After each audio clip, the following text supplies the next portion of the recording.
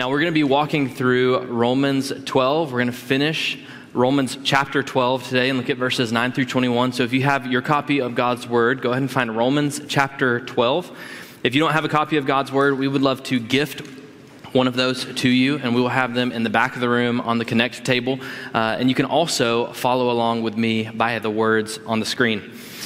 Uh, now, Whenever the Oaks first started, I wore several different hats. Uh, one of those was our church graphic designer. And I'm very grateful that now we have Grace, who does that job very well. We have an entire creative team that does a lot of the graphic design. Uh, but it wasn't completely foreign to me because throughout high school, I worked at a screen printing shop, you know, making t shirts and that kind of thing. Throughout college, it was kind of like uh, a side job that I did to do logo development and that kind of thing. So whenever we started the Oaks, I wanted to help people visualize discipleship using the four core values that we had at the time as a church. And so I created an image that would depict our four core values at the time, which were gospel story, identity, mission, and family. And it looked something like this. Uh, and, and I wanted each image to come together to create a single logo, if you will, that described the Christian life.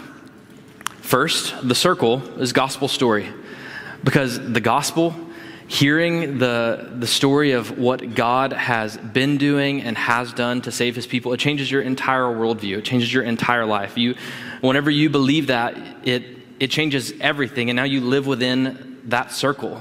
We often say, that the gospel isn't just the front door into Christianity, it's the entire house that you live the Christian life in. Next, that creates a new identity where your, gospel, your, your life is now centered in this gospel. You have been crucified with Christ, and you now live to bring him glory. This identity is in the cross. Theologians call this the cruciform life, and so we're now centered in the gospel. And then there are two repercussions that flow from that new identity, that new reality. One is inward, and one is outward depicted by the third value that we have, which is family, these arrows pointing inward. We're constantly, within the community that this gospel has created, we're constantly pointing people in to focus on Christ. And that gives us both a privilege and responsibility to love one another well.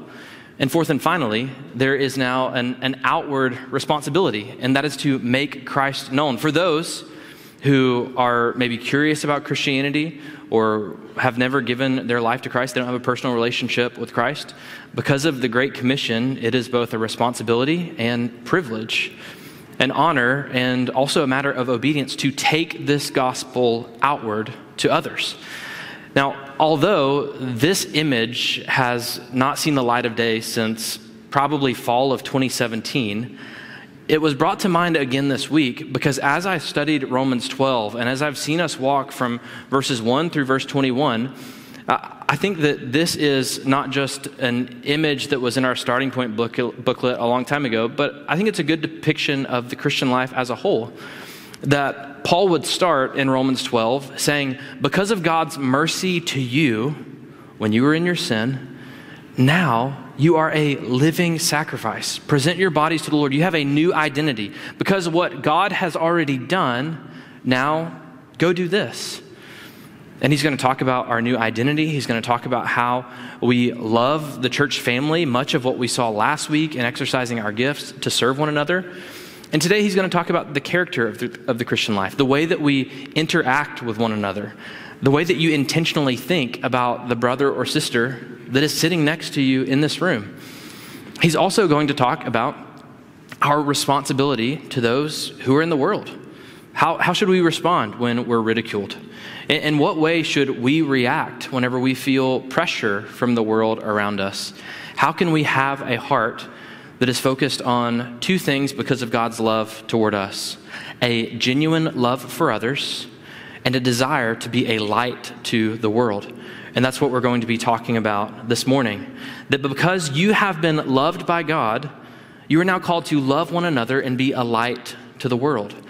How would I summarize Romans 12, 9 through 21? In this way You have been loved by God to love one another and be a light to the world. Now, here's the deal verses 9 through 21 are very straightforward. You don't have to dust off your exegetical commentary or dig into the Greek understanding of these words to understand verses 9 through 21. Now, don't get me wrong, we're going to do all of that. But the difficulty in this passage is not the information that we receive, but the application of this information. I mean, as we walk through this text and as I've been wrestling with it all week, I, I realize that my flesh the, the sinful flesh that still wages war within me bristles against the commands that Paul is going to lay out here. But that should create a genuine humility in us, a dependence upon the Lord, and the Holy Spirit actively working in us to be faithful to the commands that now lay before us, that are given by God through Paul, the apostle. So, with that being said, let's look at verses 9 through 21, and we'll unpack it a little bit. Verse 9 says this Let love be genuine, abhor what is evil, hold fast to what is good, love one another with brotherly affection, outdo one another in showing honor. Do not be slothful in zeal, be fervent in spirit, serve the Lord, rejoice in hope, be patient in tribulation, be constant in prayer. Contribute to the needs of the saints and seek to show hospitality. Bless those who persecute you, bless and do not curse them. Rejoice with those who rejoice. Weep with those who weep. Live in harmony with one another. Do not be haughty, but associate with the lowly. Never be wise in your own sight. Repay no one evil for evil, but give thought to do what is honorable in the sight of all.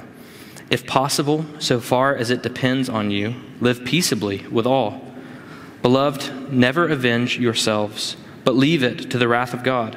For it is written, Vengeance is mine, I will repay, says the Lord. To the contrary, if your enemy is hungry, feed him. If he is thirsty, give him something to drink, for by so doing you will heap burning coals on his head. Do not be overcome by evil, but overcome evil with good. Two general statements before we begin to look at this passage in depth. First, I want you to see that all of these commands presuppose a Christian community. Uh, you cannot be faithful to obey these one another's in isolation.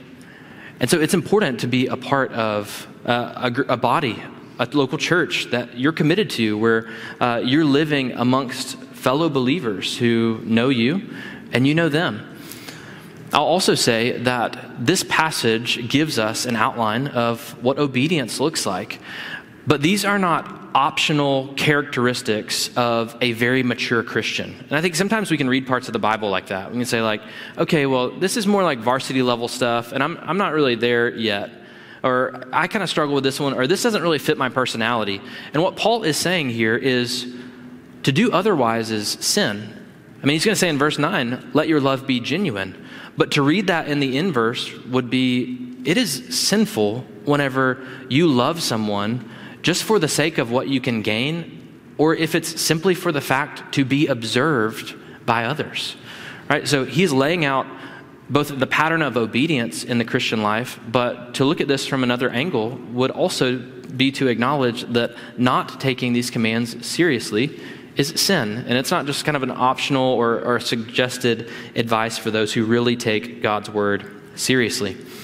Now, we're going to look at two commands, and if you love notes, like today is your day, all right? I'm going all the way A through H on point one, all right? But we're going to do it staccato, so don't, so don't worry.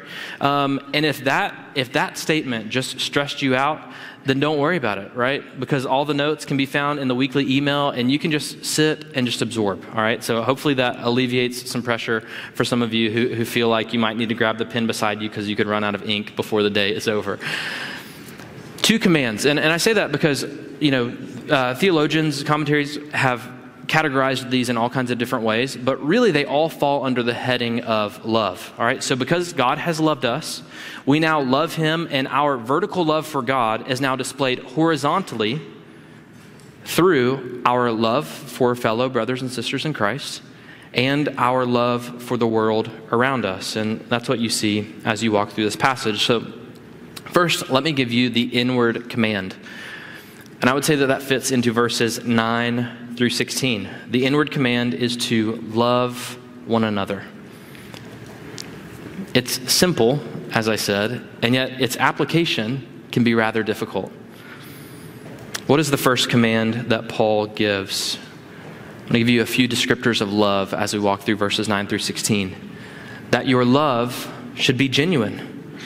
He says, Our love should be genuine. The word that is used here for genuine is anhypokritos, the word that is our source for the word hypocritical or hypocrite. He's saying your love should not be hypocritical. You should not be motivated by simply what you can get in return for loving someone uh, for loving another or loving someone else. This should be a genuine love that is not hypocritical.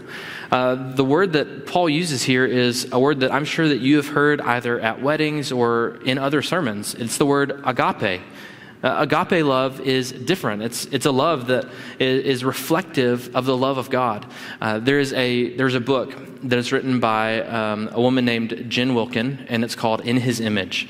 And it's a really good book. Um, it has a bright coral cover on it with a beautiful flower. So maybe you're a guy and you're like, I just don't think I would read that. I, I really encourage everybody to pick it up because what she does in that book is she walks through the incommunicable or the communicable attributes of God, which are the attributes of God that we are able to reflect as those made in His image. And she describes agape love in this way. She says that agape love is not based upon reciprocity right? So we're, we're not seeking a transaction. If you're, if you're thinking right now, is my love genuine? Run it through that filter. Am, am I seeking reciprocity? Am I, am I giving love in order to gain recognition? Is my love ever a way to manipulate someone else into doing what I want to do? Well, that's not agape love. At the end of the day, that's love of self, not love of one another. Uh, another point that she makes is that agape love doesn't weigh the worth of the object. It is easy for us to love that which is beautiful or successful or powerful, but look at the love of God who loved us when we were dead in our sin and had we have absolutely nothing to add to God. He is sufficient within himself, and yet he loves us. See, agape love loves at sacrificial personal cost. And so ask yourself, is my love genuine? Is my love like the Lord's? And, and while I think we could, we could say, man, it's, it is difficult to exhibit this kind of love, which is where it, it's important for us to be reminded of what we read in our scripture reading plan this week. 2 Corinthians 5 14 through 15 gives us the motivation for being able to love in this way at our own personal cost. It is a love that Christ has shown us, for Christ's love compels us. Like the wind in our sails compels us because we are convinced that one died for all, and therefore all died. And he died for all, that those who live should no longer live for themselves, but for him who died for them and was raised again. We don't live for ourselves anymore. We don't have to love someone in order to gain something from them because God has given us everything we need. And now the love of Christ is this fountain that never needs to be replenished that supplies all the love that we direct toward those around us. And because Christ died for us, we now live for him. But look at Paul's argument as it continues. He's saying, Let love be genuine. And then he says, Abhor what is evil, hold fast to what is good. This is actually a, a, a pretty direct statement. He's saying that you should hate what is evil and that you should hold fast to what is good. Now, does that sound contrary to love? It shouldn't. Because if you truly love something, then you will hate what contradicts it. All right, so let's use an example that every Bengals room, uh, fan in the room can relate with, right? If you, if you love the Bengals, then you hate Steelers, Chiefs, Browns, you know, like, I mean, you can, you can go through the list, right? or maybe we just say highly dislike because we're in church. But I know 1 p.m., well, more like 3 p.m., a couple Sundays ago, hate, hate the Browns. All right? Because I, because I love my children, I hate when they're sick. I hate when they run a fever. I hate when they look puny. Right? When we love what is good and righteous, we hate what is evil. Now, I think this point needs to perhaps be examined more now than ever because there is a distortion of love that is running rampant in our culture. And when we distort God's definition of love, whenever we try to warp it into our worldly way of thinking, you hear things like love accepts and affirms everything. Love, love accepts and, and affirms everything, everything goes. And, and the dangerous thing is that that way of thinking has even crept into those who would say that they hold fast to the love of God and the way that that should be expressed. I'm not making a, a hypothetical point here. This upcoming weekend, one of the largest churches in Georgia will host an event called the Unconditional Conference. And, and, the purpose behind the unconditional conference is to rally the church together to support the LGBTQ plus community.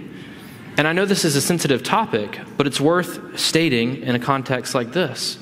Whenever you look at that event, if you were to read the website, you would hear the affirmation of sin blatantly couched in comfortable language like, we seek to build bridges, we want to bring healing, we want to provide a quiet middle space for conversation.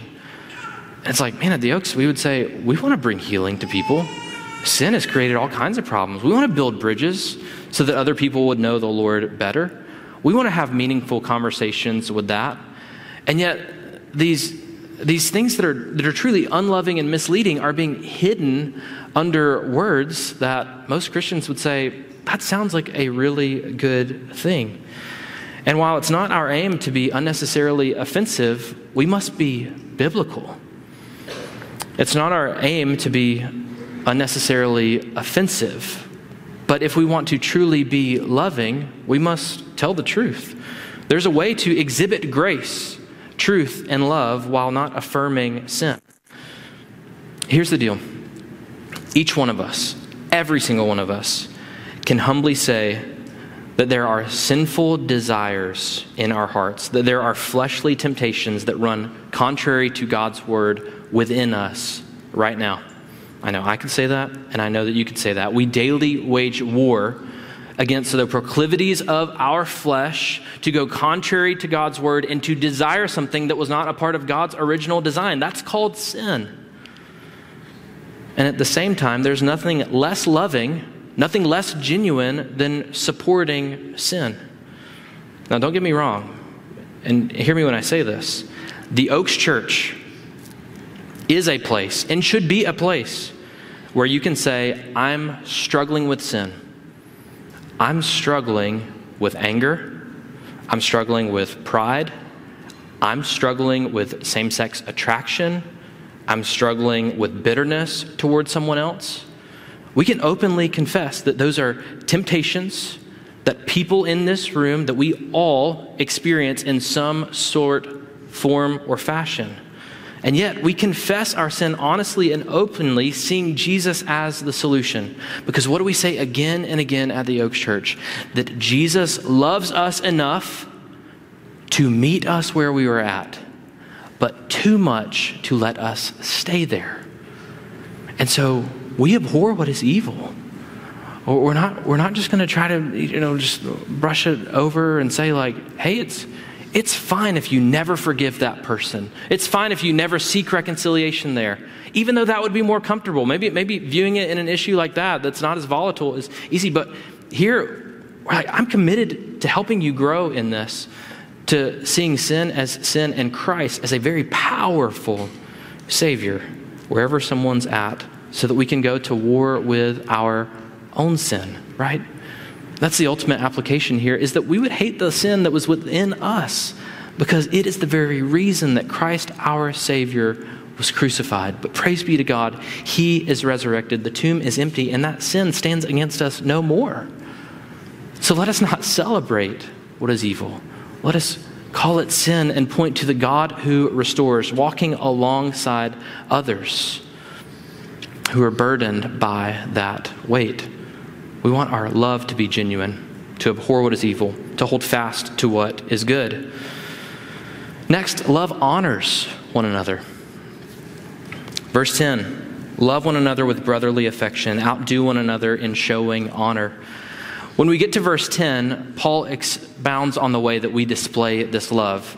You actually know the Greek word that's there in the text because it's Philadelphia. Well, it's not exactly, it's Philadelphos, but it, you, you know that that means the city of brotherly love. And whenever he says brotherly affection, he is here referring to that family relationship that exists within the church. Now, this is important because in Paul's Roman context, you would have people that are now in this church body that were once on completely different planes of the, the society's hierarchy. All right? But now they're family. So you have someone who was high up in nobility, uh, the kind of person that other people listen to. He is served or she is served and doesn't serve others. And yet, in the Christian community, in this new Roman church that is now made equal through the power of the gospel, you have the nobility serving the slave. Right? There's this brotherly affection that now exists that could only be made possible through the gospel. This kind of love replaces our sinful tendency to be jealous of others with a desire to now honor one another, to outdo one another in honor. Right? I mean, sometimes whenever you see someone else getting celebrated, you're kind of like, oh man, I wish I was getting the credit or the attention. And yet, because of the gospel, you're the one that's elevating someone, encouraging them for their gifts and what you see at work in their lives, seeking to honor them. Third, we serve one another. Verse 11 says, Do not be slothful in zeal, be fervent in spirit, serve the Lord. Now, I believe that this passage applies to everyone, but perhaps it's a little more relevant for the Christian who has walked with the Lord for a long time.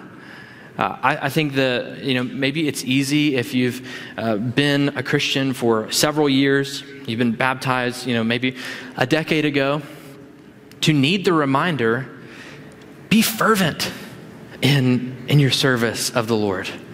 Uh, don't grow lax. And I know that as time goes on, life's demands get, get greater and greater, and yet what Paul is saying here is hey, don't, don't let your zeal wane. Remember what God has done for you. Don't let all of your service of the Lord be in the past tense. You know, I mean, I know that some of you, I don't, but have that Thanksgiving or uh, that, that uncle at Thanksgiving, you know, and you have the Thanksgiving meal and you're like, man, this is, I never know what's going to happen. And then you have that uncle who spends like the whole time talking about how good he was at football in high school, you know? It's like the Uncle Rico Christian who's like, man, back in my day, I could throw a pigskin a quarter mile, you know, if they would have just put me in at, at the state championship, we would have won, you know? That, like, you don't want your Christian life to be all about, like, whenever you think about those radical moments of faith or that risky courage for the sake of the gospel where you had the conversation or, you know, went on the mission trip, you don't want all of that stuff to be like the, that it happened the first six months that you were a Christian.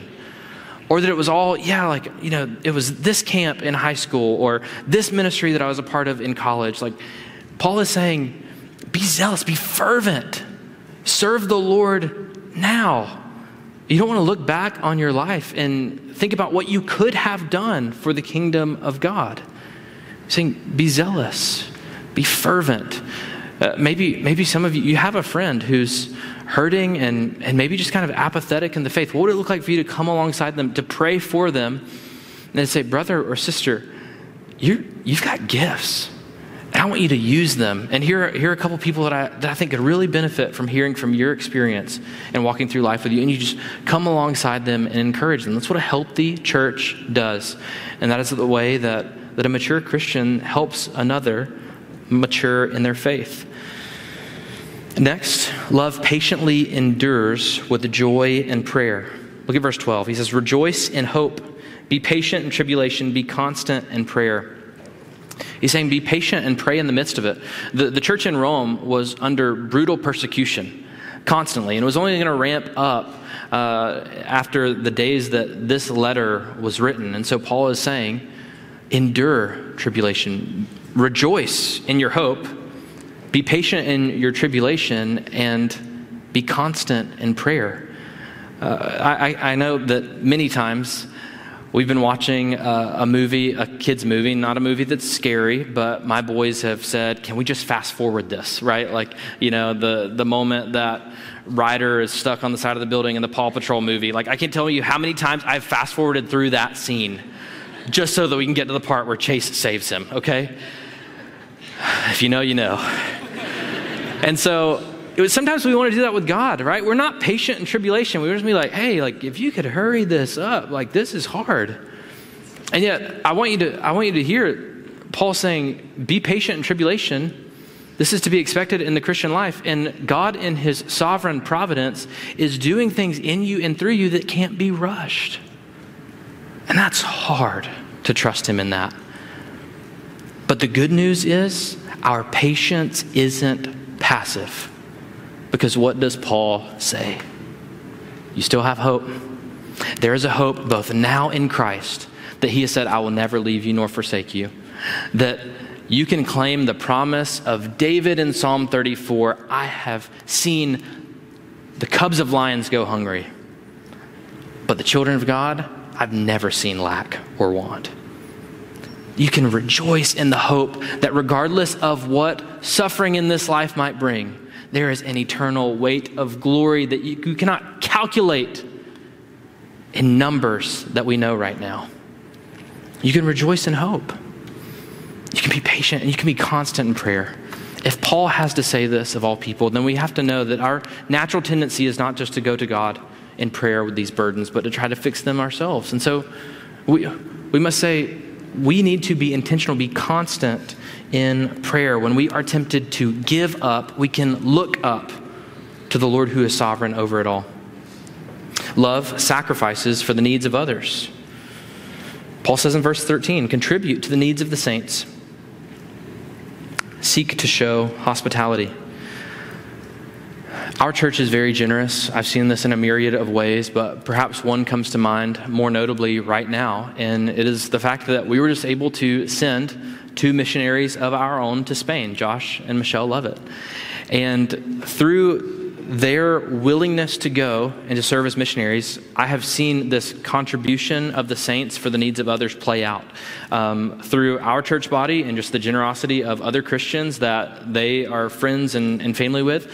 They were able to raise over $33,000 up to this point to go be missionaries in Spain to discern what God has next for them, potentially church planting in Spain.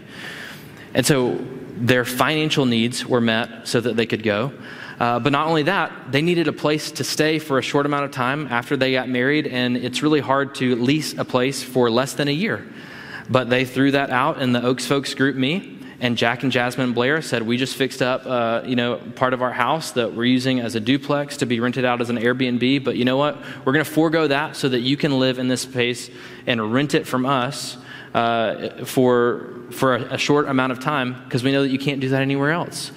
And, and the amazing thing is, there was another couple in our congregation that needed a car, and they're like, We don't know what we're going to do because we need a car. And the Lovetts heard that need and said, Well, we're about to be in Spain for a year. We're not going to need our car. You take our car, you can keep it running for us. And then the Lovett said, We've got all of this stuff and we have no idea where to store it, and storage units are really expensive. And the Dodds just bought a house and they said, We've got a lot of room in our basement, just store everything in there. And so they stored it so that there would be no expense to the Lovetts at all. That is how God, in His sovereign providence, has designed the church to meet one another's needs so that we can contribute to the needs of the saints. Now, some of those were financial, uh, some of those were tangible, all of them were hospitable. Paul says here, seek to show hospitality. Uh, we don't just view our homes as private castles to entreat, to treat, like just to get a retreat in. Uh, we view our homes, our dinner tables, as opportunities to love other people. Hospitality is not simply about hosting people. Hospitality is also uh, a way of life that invites people to, you know, to come into your life. Uh, we often say at the Oaks that uh, we want to intersect and not add when it comes to the Christian life and the biblical community. We value intersection over addition. What do I mean by that? Well, if you've been around for a few years, you've often heard the phrase add people to your things and not just things to your schedule. And whenever you begin to think like that, you, are like, man, I, I'm supposed to disciple people. I'm supposed to serve people. I'm supposed to know the needs of others. Like, I don't have time for all this. I'm working a 40 plus hour a week job. I'm going to school. I've got all these responsibilities as a family. But if you begin to think, add people to my things, not things to my schedule, you're like, oh, I've got 21 meals that I typically eat a week, three meals a day. I'll just add, I'll just see if someone wants to come over and eat, or um, if I can be intentional about the person that I grab lunch with. If maybe you're saying, you know, I, I go on a run at 6 a.m., uh, Monday, Wednesday, Friday. It's like, was there anybody in your missional community group that also goes on a run a few weeks out of the morning? Maybe you just intersect so that you can get to know them a little bit better. Maybe you're taking the kids to the park and you just have a, a group chat and you'd say, hey, we're going to be at this park at, you know, 2 p.m. tomorrow. Does anybody else want to join?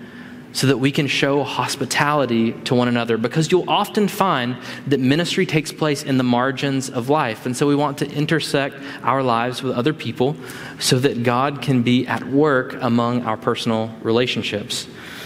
Next, Paul says that love blesses one another. How should we handle opposition? We should bless those who persecute us. That's what Paul says here. Bless those who persecute you, bless you, and do not curse them.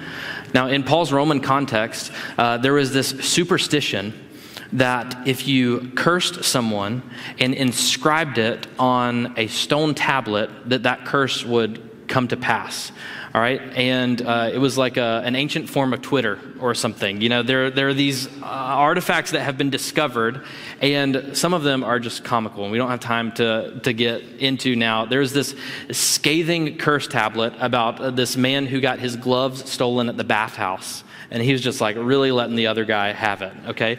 So but paul here is saying the culture around you is is saying, yeah, slander other people that get in your way. Gossip about other people because the more that you can tear somebody down, especially if you feel attacked, the better you feel about yourself, the, the better you will appear in the eyes of others. And Paul here is being countercultural and saying, no, bless one another.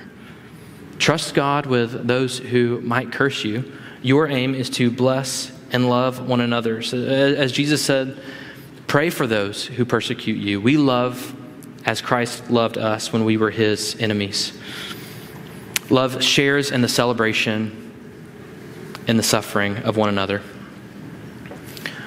Love shares in the celebration of one another and in the suffering of one another. Rejoice with those who rejoice, weep with those who weep. Now, the unspoken prerequisite of this command is that you must know one another. You got to know what's going on in somebody's life to be able to rejoice with them. You got to know what's going on in somebody's life to be able to weep with them. Proximity does not always equal community. Right? sometimes it does, it's certainly necessary, but proximity, just being close to someone, doesn't equal community with someone. And, and so we must seek to get to know others. We must let other people know us. If there's something that you're rejoicing about, Share it with other people so that they can praise God with you. If there's something that is difficult for you, share it with someone else so that they can bear your burden alongside you. That's how the church has been designed. We are so naturally nearsighted that we must be told this rejoice with those who rejoice, weep with those who weep. I, I think I experienced this most tangibly in our missional community group. Uh, you know, last year was our oldest son's first year of kindergarten. And if you can think back to your elementary days, then you know that one of the most important days of the year was the day of your Valentine's Day party. Right? Did anybody else feel like that? It's like you go to the store with your mom and you pick out the your and your you pick out whatever your character is or TV show, and then you're looking through your Valentine's Day card and you're like, oh, she is definitely getting this one, right? or he is he is definitely getting this one. And you're, you're you're like you know and then you and you come home that day and you've got your valentine's day cards and candy from everybody and you're just going through them and you're just beaming. It's like so exciting. Well we had gone through that whole process and then the day before the valentine's day party brooks's first valentine's day party of elementary school he started running a fever. So we're like buddy, I'm so sorry. Like, you're not going to be able to go to the Valentine's Day party. And he was just crushed, right? He had decorated his little box and he was going to take. And, you know, it's just like, oh, man. And, you know, I meet with Connor once a week uh, to just do accountability and discipleship. And so, you know, I, I mentioned it in passing just because it's a hard thing in our week. But what was so cool is, unbeknownst to me, he had texted every person in our missional community group. And he had explained the situation and. such a dad, right? And and he, and he, said he said, "Hey, this is what happened to Brooks. You know, he was excited about his Valentine's Day party. He's not going to be able to go." And he said, um, "If you get the chance, bring a Valentine's Day card and candy. And uh, so there Brooks is. He's sitting on the floor. He has no idea that this is about to happen. You know, five year old little guy sitting there, still feeling kind of kind of weak and sick. And one by one, each person came into our house and handed him a Valentine's Day card and a, and a piece of candy. And just, and I mean, his eyes lit up, right? He, he could not believe that there were adults who would consider him in such a way and, and to love him like that. And as I reflected on that, I just said, Lord, this is better than a kindergarten Valentine's Day party. Because my five year old has just learned a valuable lesson in ecclesiology right? He has just learned, yeah. Sorry. My prayers are weird, y'all. Uh, but he's just learned this valuable lesson about who the church is, right? That we see the needs of others. We go out of our way at personal cost to ourselves to meet them because we are a people who know what it's like for one to weep with us. Is that not what Christ Himself has done? Sympathizing with our weaknesses as our great high priest and as those who have been given the Holy Spirit now to be a priest of this grace to others, to see the needs of others, to come alongside them and to weep alongside them that they may know the love of God. That's what the church does. That's what you guys are known for. And you do it in ways that I don't even know about. That's what the church does. We love others as Christ has first loved us. Finally, on this point, we pursue unity. We talked a lot last week about the diversity of gifts in the church, and it can be easy to compare whenever other people have different gifts in the church body. And Paul is saying here, even in that diversity, there should be great unity because we are one body saying in verse 16, Do not be haughty, or live in harmony with one another. Do not be haughty, but associate with the lowly. Never be wise in your own sight. So, those are the inward commitments that we make. That is what love is within the church body. But we should also look at the outward command that we should be a light to those in the dark. Verse 17 Repay no one evil for evil, but give thought to do what is honorable in the sight of all. First, you should trust God and not seek revenge. You should trust God's plan. And whenever you are wronged by someone else, specifically those that are outside of the Christian community, you shouldn't seek to get even or to get ahead or to take revenge on that. Now, this is, uh, this is an embarrassing story for me to tell, and maybe I just shouldn't, but maybe it gives you a, a, a picture of how I feel whenever I've experienced injustice, okay? So, um, one night, I'm going to get dinner at Taco Bell, and someone cuts me off as I'm getting into the Taco Bell on Red Bank. You know, you have to circle the whole building and then pull in, and then someone just whipped right in there. And it was a cab service that had the number of the cab service plastered over the bumper. And I'm so petty, you know what I'm about to do. Okay, so were we together? Were you? Okay, yeah. So my whole family was in the car. It was a real shining moment for me. So, so I'm like, I'm going to call him. I'm going to call and talk to his manager and, you know, say this is happening. So I, I called the cab service and I'm like, hey, I would like to speak uh, with the manager to report one of your drivers. And, and this guy's like, well, what's the situation? And I said, Well, I was pulling into Taco Bell and one of your drivers cut me off, and I think that was really rude. And he said, I'm in front of you trying to order tacos right now. he said, I am the manager. And then he hung up. And I was like, I was like, Well, that did not go as planned. And my wife is just sitting silently next to me because she has seen that scenario play out more times than I'm willing to, to admit. What what Paul is saying here is trust the Lord with injustice. And while, and while that is the, a silly example, I know that some of you are sitting here right now and you're like, but you don't understand what I've gone through.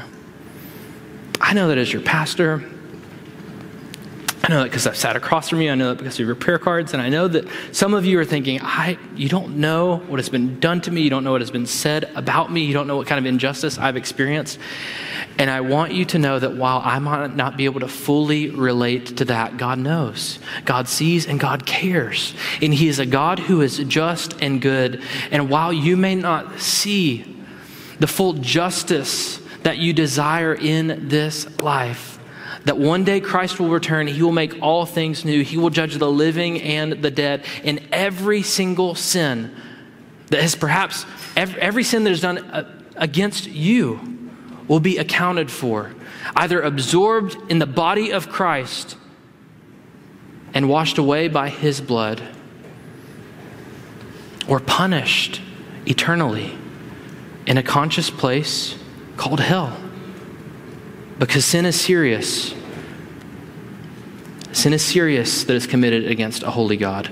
If you read through the book of, of, Nahum this week in our Bible reading plan, some of that's hard to stomach. And yet, think about the great comfort it would have been to the Israelites as they're thinking about the Ninevites that seem to just be getting away with everything. And they're like, oh, Lord, how long? He's saying, uh, in my timing, trust me, draw near to me. I'm going to exact justice in this situation. Trust my timing. Which is why here we can read in verse 19 Beloved, never avenge yourselves, but leave it to the wrath of God. For it is written, Vengeance is mine, I will repay, says the Lord. We can trust the Lord's timing and not repay evil when it is done. Verse 18 says, as, as far as it is possible for you, live peaceably with others. There are going to be times that you seek peace with someone else, that perhaps you seek reconciliation, uh, that they do not repent to you. And in those moments, you will have sought peace as far as it depends upon you. But there are times when conflict arises that there is no more that you can do to create peace in that situation. And so you trust the Lord. You say, I am not going to be bitter toward this person. I'm not going to harbor resentment. I'm going to trust the Lord with it. So seek peace and know that, know that there are things that you can be a part of there and, and other things that are out of your hands and be okay with that. So we trust God, we don't seek revenge, we leave, live peaceably, and we love our enemies. Do you notice how Paul begins verse 19? He says, Beloved. Why does he do that? I think it's really intentional that he, he reminds the church here, you are loved by God. Why would he do that? Because there is great temptation to believe the lie that God doesn't care and that God doesn't love you whenever you are facing difficult circumstances, especially whenever you are experiencing uh, difficulty at the hands of another. And he's saying, hey, you might not feel loved by other people right now, but you are the beloved of God. And He cares about you. He loves you. And He has gone to great lengths to prove that to you. And so, what is our responsibility? To bless our enemy, to feed them when they're hungry, to, to give them drink when they are thirsty. It says in verse 20 that that would be like pouring coals upon their head perhaps to wake them up to the reality of the gospel, that these coals would purify their soul, as Isaiah was purified when the coal touched his lips, that would wake them up out of their sinful state when they experienced the kindness of another. As I thought about this, I was reminded of the story of the Apostle James's martyrdom. Uh, you might be familiar with the story that there was an executor that was assigned to behead him And James, being both bold but humble, began to walk with that executioner to the place that he would be beheaded. And he just began to tell that man about the love of Christ. He began to say, Hey, God can forgive anything that you've done. Like this is this doesn't have to define you. You can have eternal life in Christ, my Lord. This is my hope. This is my salvation. And by the time that James goes to take a knee to be beheaded, the executioner hands his sword to another and says, I am a follower of Christ. In hearing what he has said to me, on the path to his own execution, I have decided that Christ is my Savior. He has forgiven my sins, and now I give my life to him and take a knee to be martyred alongside my now brother in Christ. Why don't we retaliate? Why don't we seek revenge? Why do we live peaceably? Why do we have this kind of posture toward those around us? Because we are eager that they may be welcomed into the family of God and know the Lord as we do. Perhaps we should end the same place that we began with the mercy of God. That's what Romans 12 is all about. And I say that for two reasons. Uh, one, because we can hear a passage, a ton of commands like this, and slip into two ditches. Uh, one would be resolution, and the other would be resignation. All right, so resolution would say, This is a lot, but I think I can do it. I'm going to try harder. I'm going to, you know, really buckle down, and I'm going to make this happen. And if you do that, you're either going to be exhausted or prideful, right? Because you can't do this in your own strength, or if you start to see progress and you're not dependent upon the Lord, you're going to be like, I'm great. Resolution isn't the solution here. We could, we could also slip into resignation and just say, I can't do this. This is too much for me. All these commands, like, I, forget it. I'll leave it to the other Christians. But the gospel says, you can't do this.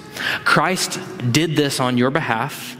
Now, Christ has saved you, redeemed you, is committed to your sanctification, lives within you through the Holy Spirit, so that you can imperfectly go and do these things.